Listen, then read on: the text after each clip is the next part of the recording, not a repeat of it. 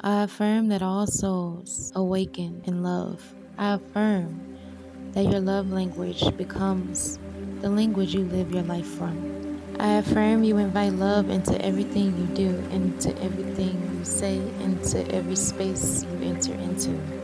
I affirm that all of your relationships are a reflection of love and that you see your life in the eyes of love. I affirm that love is in the forefront of your life.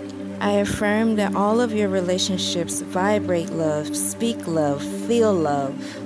I affirm that whatever is calcifying your heart and is stopping you from experiencing love, that it be removed and it be healed and transformed into loving energy. I affirm that love lives here. I affirm that you are love. I affirm that you see yourself as love.